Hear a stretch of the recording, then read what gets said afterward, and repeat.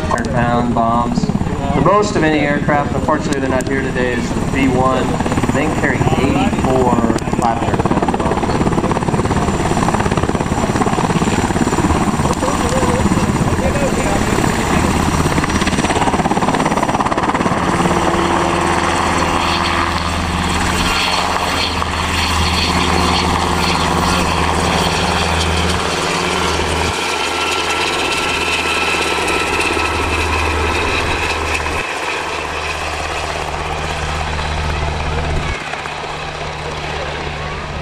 And that was uh, the adjutant general. Bunting.